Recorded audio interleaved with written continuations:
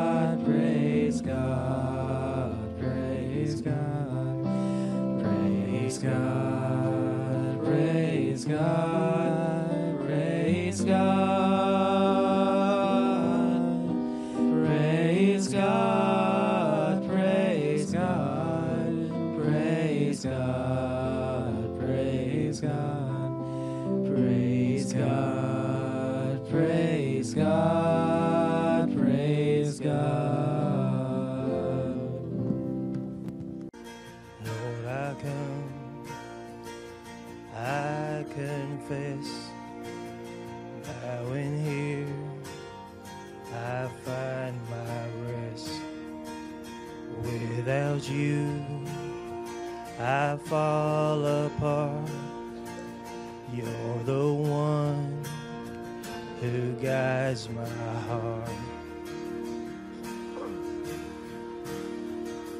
Lord, I need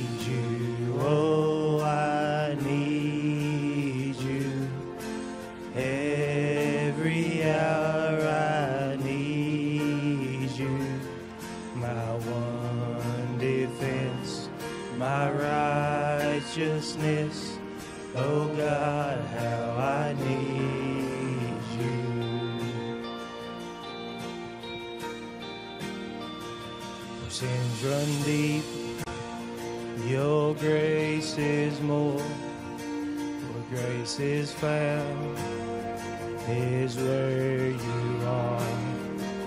And where you are, Lord, I am free. Holiness is Christ in me.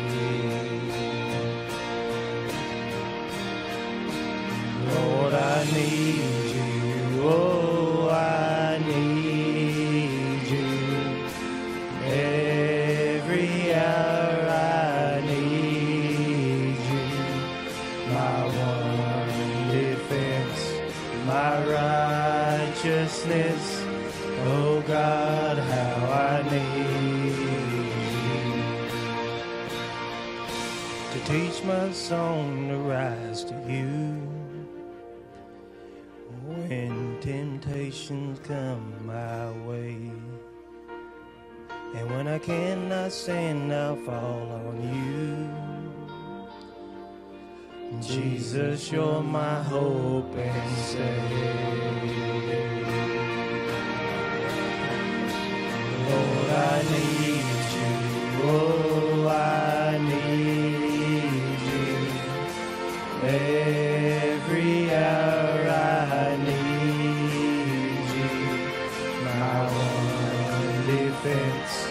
my righteousness. Oh God, how I need you. You're my one defense, my righteousness. Oh God, how I need you. My one defense, my righteousness. Oh God, how I need you. Scripture goes with that. It goes, uh, the righteousness cries out, and the Lord hears them. He delivers them from all their troubles. Psalms 34 17. Would you be free from your burden and sin? There's power in the blood, power in the blood. Would you or evil a victory win? There's wonderful power in the blood. There is power, power, wonder working power in the blood of the Lamb. There is power, power in the precious blood of the Lamb. Would you be free from your passion and pride? There's power in the blood, power in the blood. Come for a cleansing on Calvary's tide. There's wonderful power in the blood. There is power, power, wonder working power in the blood of the Lamb. There is power, power, wonder working power in the precious blood of the Lamb. Would you be whiter, much whiter than snow? There's power in the blood, power in the blood. Sin stains are lost in the life giving flow. There's wonderful power in the blood. Power, power, wonder working power in the blood of the Lamb. There is power, power, wonder working power in the precious blood of the Lamb. Would you do service for Jesus your King? There's power in the blood, power in the blood. Would you live daily the praises to sing? There's wonderful power in the blood. There is power, power, wonder working power in the blood of the Lamb. There is power, power, wonder working power in the precious blood of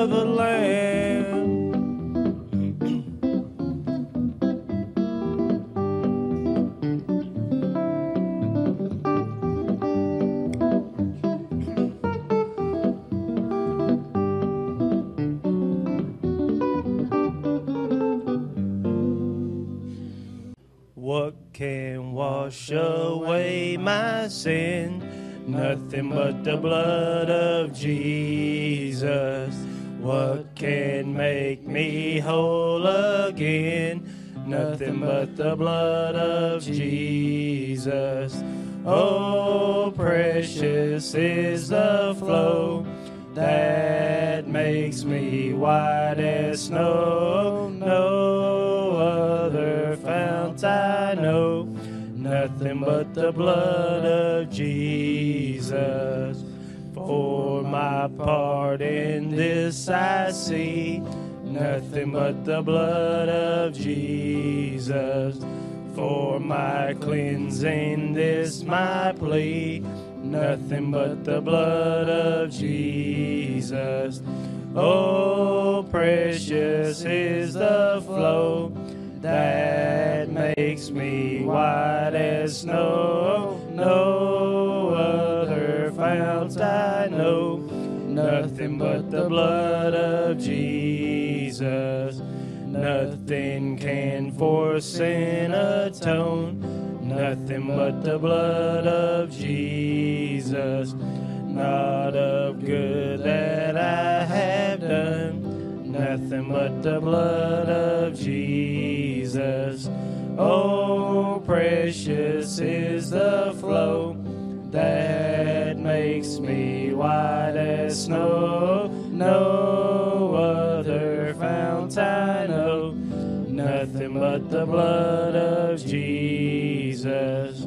This is all my hope and peace, nothing but the blood of Jesus. This is all my righteousness, nothing but the blood of Jesus. Oh, precious is the flow that makes me white as snow. No other fount I know, nothing but the blood of Jesus. In my robe of white, I will fly away to that land so fair. Meet my Jesus there. It will be so grand when I get to that land. In my robe of white, I will fly away. First I'll hear the trumpet sound, then I'll sense me heaven bound. We'll cross over Jordan and wide, stop and view the other side. There I'll see those holy hills and my mansion he has built. I'm gonna be the first in line to see my name in the book of life. In my robe of white, I will fly away to that land so fair. Meet my Jesus there. It will be so grand when I get to that land. In my robe of white, I will fly away.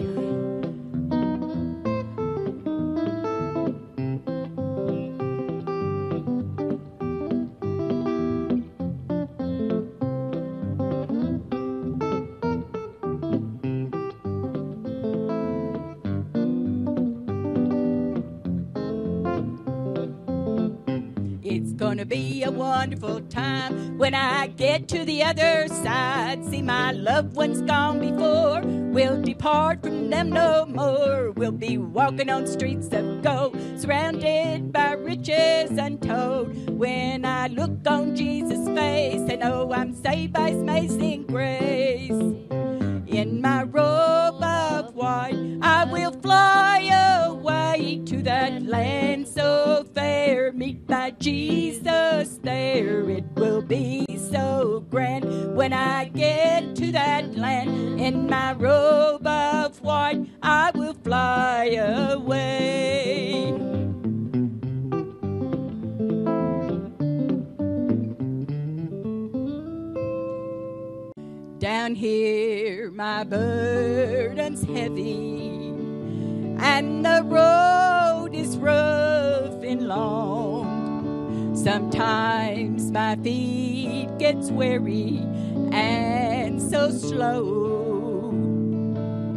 But there's a brighter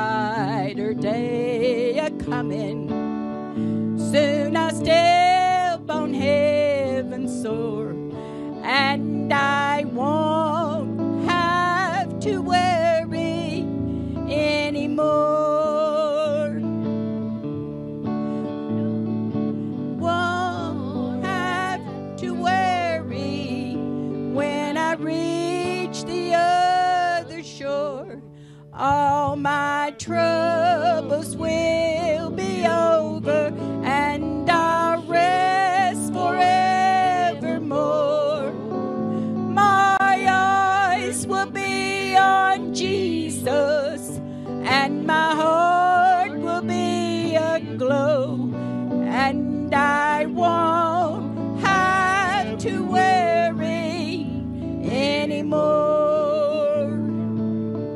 Someday.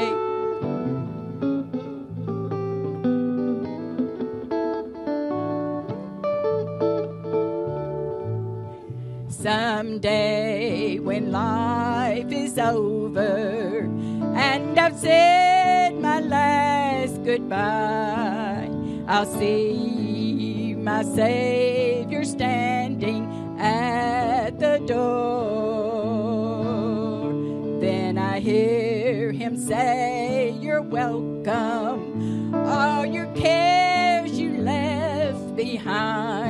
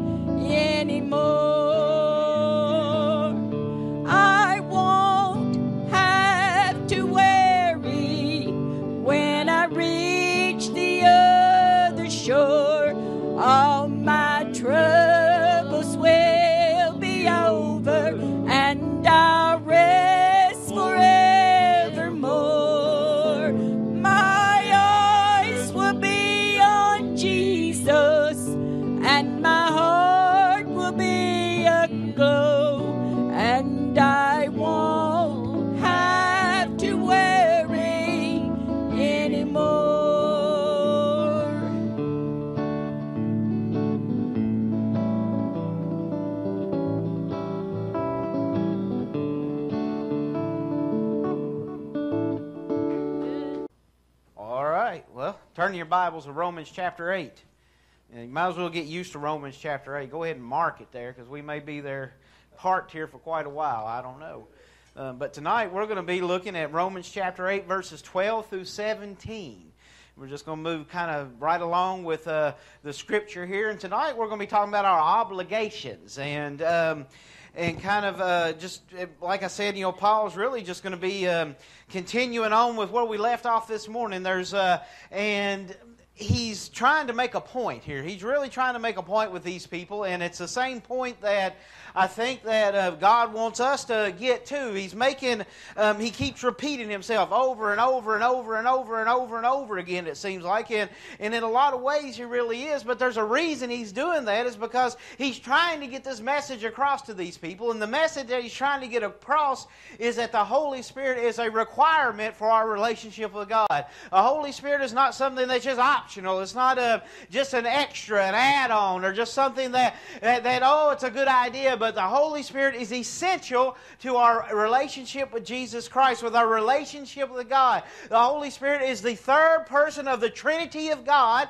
and the Holy Spirit is the one that makes everything really possible. He's the one that draws us to God, He's the one that indwells within us and, and opens us up to receive all the things that God has for us. And, and so Paul really wants to make this point that the Holy Spirit is essential to not only to our salvation, but also to our walk with God.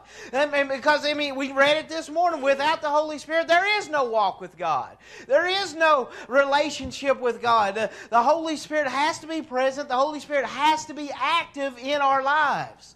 And, and you know, when we talk about being sanctified, we talk about sanctification. People say, well, hold on a minute. What about all this receiving the Holy Spirit? Well, I want to give you some, a, a different perspective on that tonight because our receiving of the Holy Spirit is more uh, of our submission to the Holy Spirit than anything else. It's our submitting ourselves fully to the Holy Spirit, allowing the Holy Spirit to take full control of us. Is really what the receiving of the Holy Spirit is. Because the Holy Spirit is always always there, and the Holy Spirit is always active in our entire relationship with Christ. But like I said just a second ago, the Holy Spirit is who draws us to God to begin with. And without that Holy Spirit drawing us, what are we left with? Nothing. Absolutely nothing. And Paul is trying to make this point. He's trying to get all this established with them because what we're going to get into tonight are some of the obligations that, that we as Christians really have and really should be doing. And, and he's established that necessity, and now he's going to take it just a step further. And that's where we're going to pick up tonight in Romans chapter 8. I'm going to read verses 12 through 17. It says here, starting in verse 12, Therefore, brothers, we have an obligation. that's where I got the title from. That's a good place. Get it right from Scripture. Therefore, brothers, we have an obligation, but it is not to the sinful nature, but it's to live or to live according to it. Our obligation is not to the sinful nature. It's not to live according to it. It says, "For if you live according to the sinful nature, you will die." There's not a maybe, an if. It says, if you live according to the sinful nature, you will die. He says, but if by the Spirit you put to death the misdeeds of the body, you will live. Life and death. We'll get to that in a minute. He says, because those who are led by the Spirit of God are sons of God, sons and daughters of God, children of God. He says, For you did not receive a spirit that makes you a slave again to fear, but you received the spirit of sonship. And by him we cry, Abba, Father.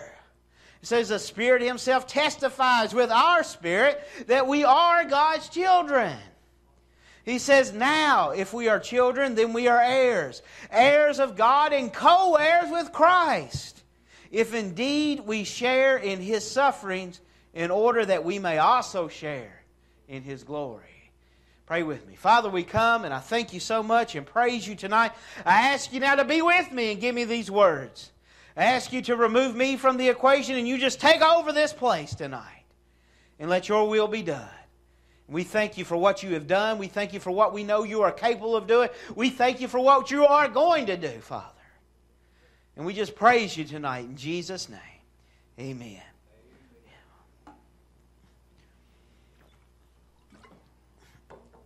All right, so now, like I said, it, it seems like Paul's repeating himself over and over and over again, and really he is. He is repeating himself. And like I also said, the point he's trying to make is so important he has to compete, to continuously repeat himself over and over. He is trying to make the point that the work of the Spirit in the lives of the believer is necessary, and he's trying to make that point abundantly clear. And the reason he has such a hard time making it, he, that, making it so clear that he has to repeat himself over and over again is because the people that he's addressing are a lot like the people are today. A lot like the people are today. They're headstrong, self willed. What it, what's it called? Stiff neck. I believe that's what what uh, what they're called in the Old Testament. Stiff neck, They're headstrong, they're self willed, and they have a horrible, horrible, horrible time just submitting themselves to God, just uh, humbling themselves before God, and giving control of themselves over to God. They cannot, they have a hard time doing that because their mindset is they're not going to submit to nobody. Ain't nobody going to tell them what to do. Ain't nobody going to control them. Ain't nobody going to lead them, not even God. That was their mindset. Their, their motto was, Ain't nobody my boss. Y'all ever heard that? You say, You ain't my boss. You can't tell me what to do. I ain't going, no. I see smiles back there. but that was their motto. You ain't my boss. Ain't nobody going to tell me what to do. And we have the same mindset, too, to be honest with you. The same mindset. People are no different today than they were then. And they have that mindset that ain't nobody going to tell them what to do, not even God. They are so stubborn, so self willed, so headstrong. There's nobody's going to rule over them. And, and, they get in their mind here that, that, that God is, is going to be so oppressive or something that if they submit themselves to God, that they're going to be made to do things they don't like to do. That's crazy. Submitting yourself to God opens you up to God's victory in your life. It opens you up to all of God's blessings and all the things that God has in store for us. But we don't realize those things and we don't walk in the victory of God because we can't submit ourselves and listen to God. We've got to do it our way. We've got to do everything our way. We can't just submit and listen and do what God says. We want to do everything the way we want to do it. And we don't have victory because of that. We can't, we can't really understand this abundant life that Jesus talks about. We can't understand what it is to walk in the Spirit because we have to first submit ourselves to God. And we can't do that. We're so consumed with being right and getting our way that we disregard what God's trying to tell us and what God's trying to show us and how God's trying to lead us.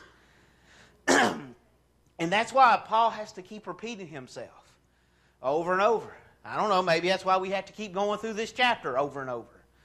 I don't know. But he's, he tells them kind of, you know, he's kind of like, well, hold on just a minute. So that's your attitude. I've told you. But hold on. I'm going to tell you something else here. Because he's talked at length about the sinful nature. He's talked at length about the Spirit and living in the Spirit. And then he says this. This is where ours picks up. He says, Therefore, brothers, we have an obligation but it is not to the sinful nature to live according to it. So, we have an obligation. Did you all know that? We have an obligation. An obligation. Think about it. What's an obligation? A duty, a requirement. He says, We have an obligation. He says, But it's not to serve the flesh. It's not to submit to our own sinful nature. It's not to walk and do whatever we want to do. That's not what our obligation is. So we're not obligated to ourselves. We're not obligated really to one another to an extent. We're obligated to who? Help me. God. That's who we're obligated to. Eh, and so, and so, okay, so we're obligated to God. Then what is that obligation? Exactly. To serve God. Remember, we talked about, we kind of, I gave it away this morning. That obligation is to fulfill the great commandment to go, to make disciples, to fulfill what God has told us to do. To love God with all of our heart, our mind, our soul, to love our neighbor as ourselves, to do what God's calling us to do. That's, that's what our obligation is, is just to love God and to love other people. And that's going to cause us to go and to make disciples, is because out of the abundance of your heart, what the mouth speaks. Out of what's in your heart comes out of what you do and who you are. He says that's our obligation. We're obligated to God, and we have to do that. So that's good, isn't it? That's the obligation. Everybody agree? That's our obligation. Raise your hand if you agree with me. That's your obligation. All right. Are you doing it? Are you doing it? Are you living up to that obligation? That's where it gets a little tougher, isn't it? It's a little tougher there. Are we living up to that obligation? Are we doing what Paul says in Ephesians 4? I think I preached over this one time. He says, As a prisoner for the Lord, then I urge you to live a life worthy of the calling that you have received. Live a life worthy of that high calling which you've received. And, you know, we'll say, Well, I don't know. I don't know if I am or not. I think I am. I think I'm doing what God says. Well, in verse 2, he tells us. Paul says this he says, Be completely humble and gentle.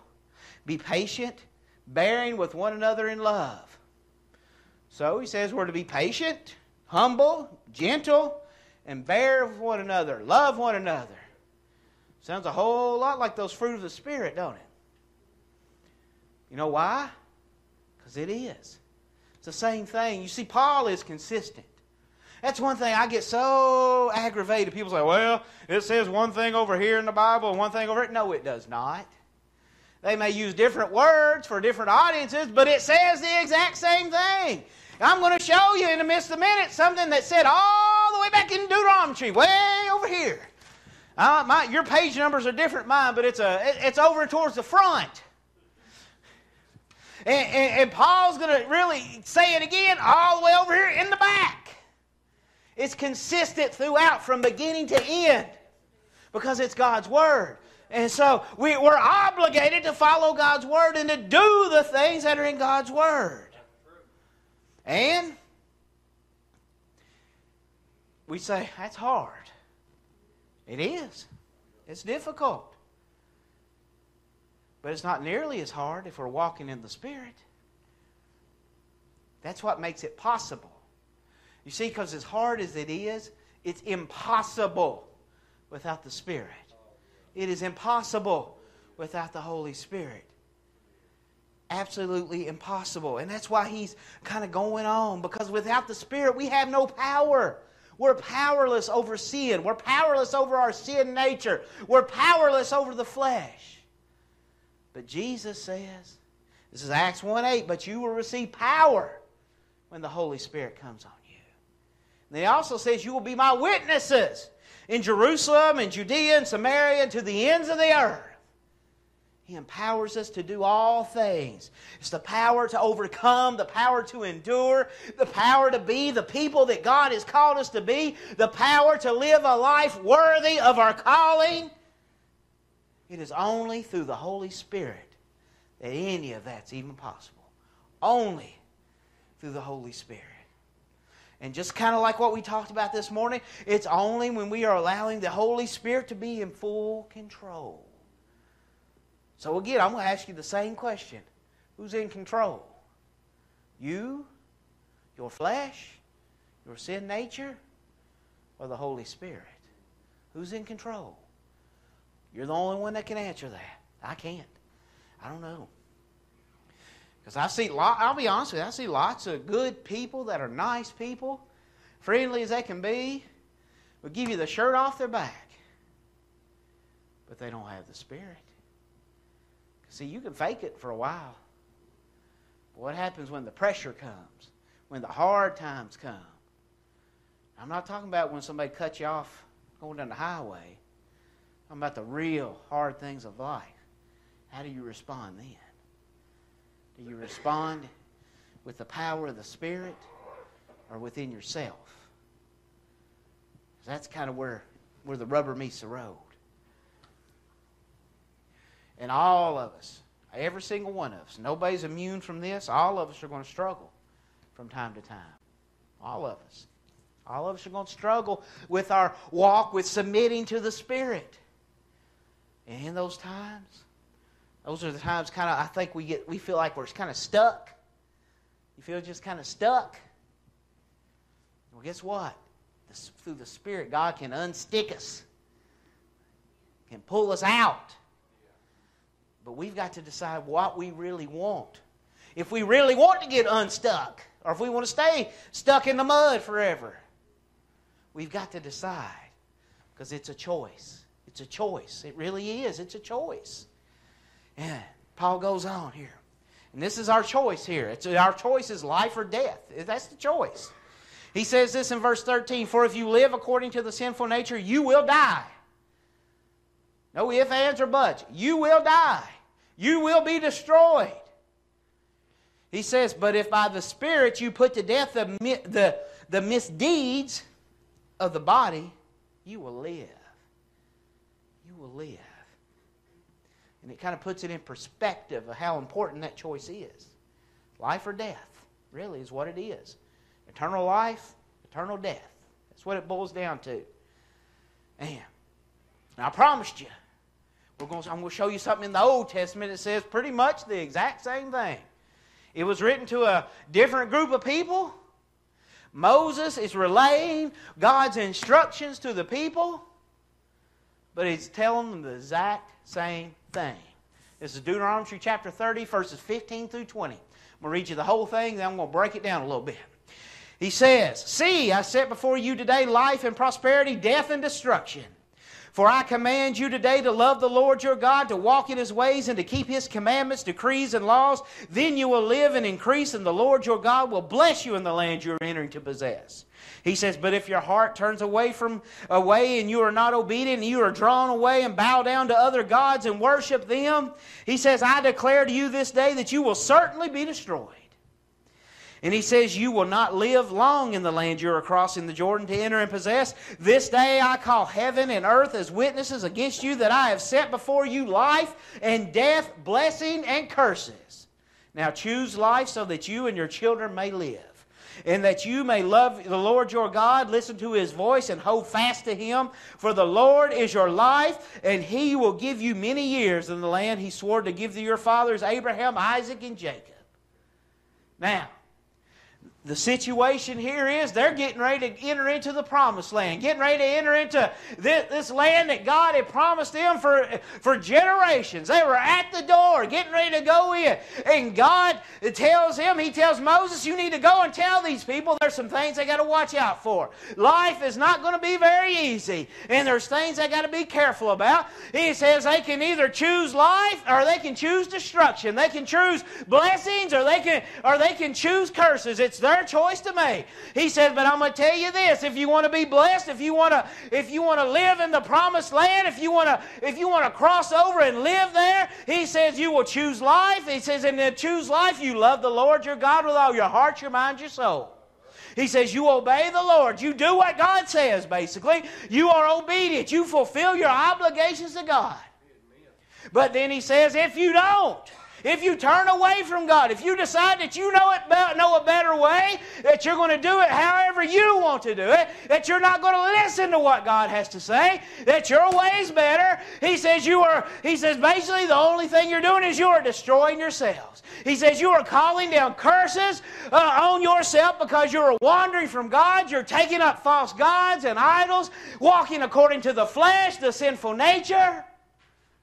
You're cursing yourself. And he, he basically he pleads with them here. He says, I command you, but he's saying, I command you, but he's saying, I'm pleading with you, make the right choice. Choose God, choose life, choose prosperity, choose his blessings. And it's, it's really, it's that simple.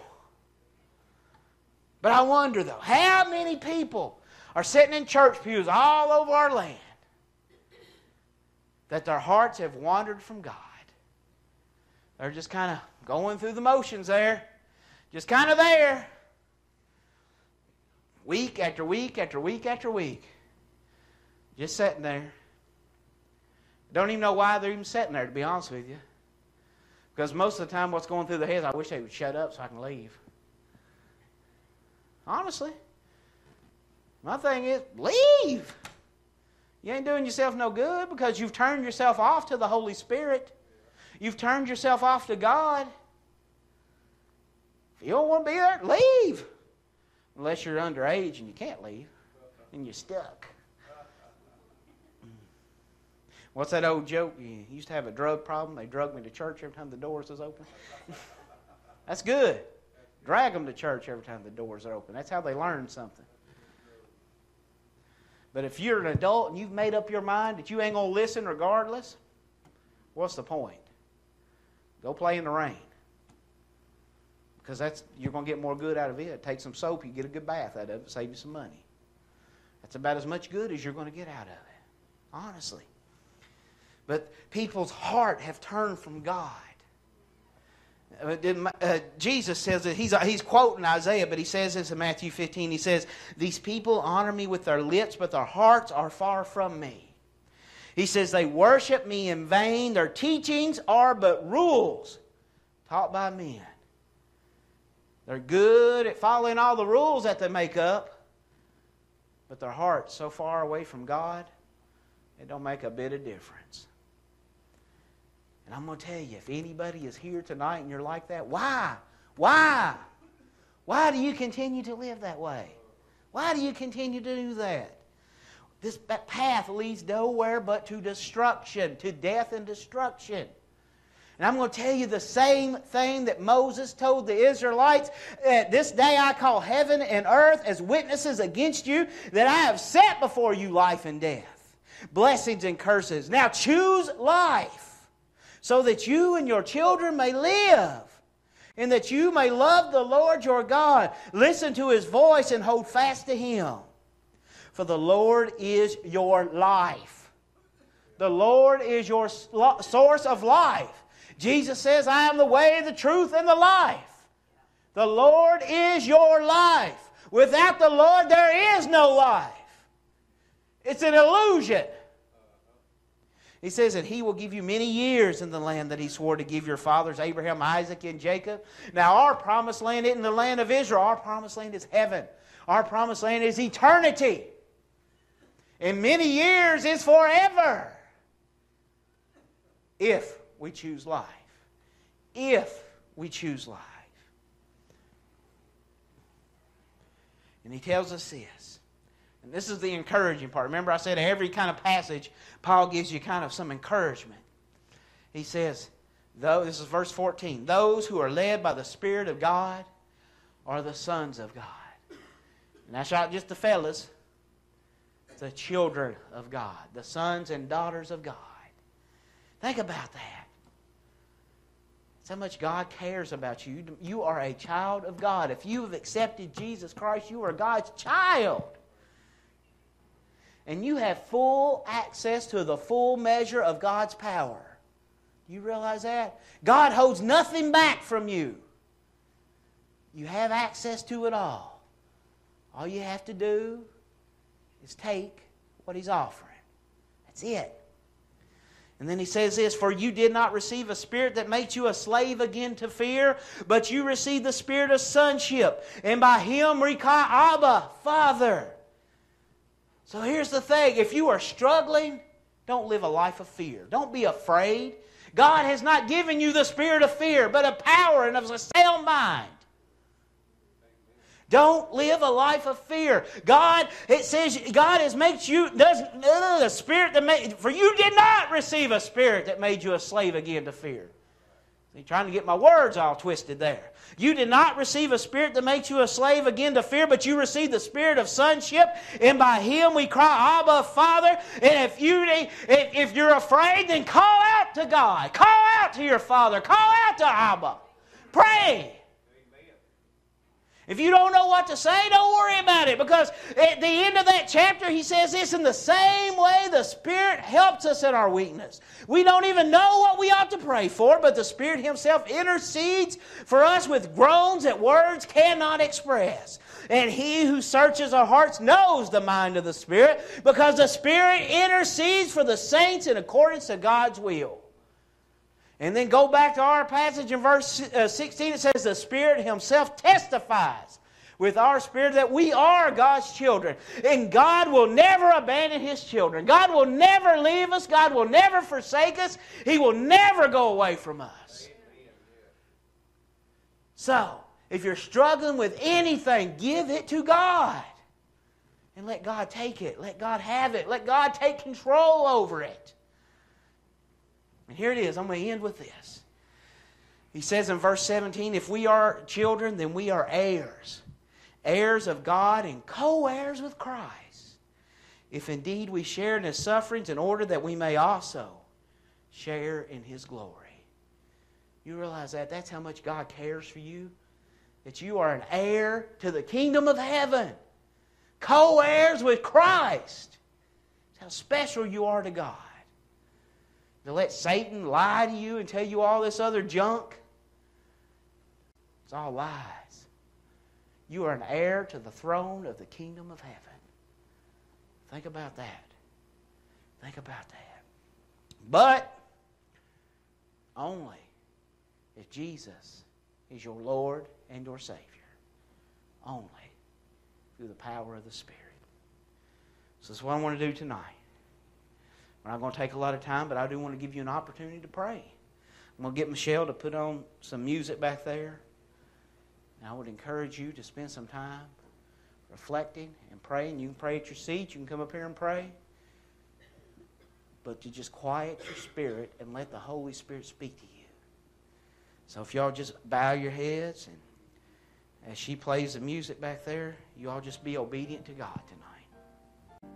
Father, we come one more time and I thank you tonight. I thank you for the obedience of those that came to the altar tonight, Father. I thank you for all the obedience of those that prayed at their seats tonight, Father. And I just ask that you uh, open us each and every one up to what you have for us. Open our eyes, our hearts, our ears, Father. Help us to see, hear, and understand what your will is, Father. And help us to have the courage, Father, to carry that will out. Help us, Father, to fulfill the obligations that you've given us. And help us to be the Christians that you've called us to be. Guide us this week, be with us, and keep us safe, and bring us back. We thank you in Jesus' name. Amen.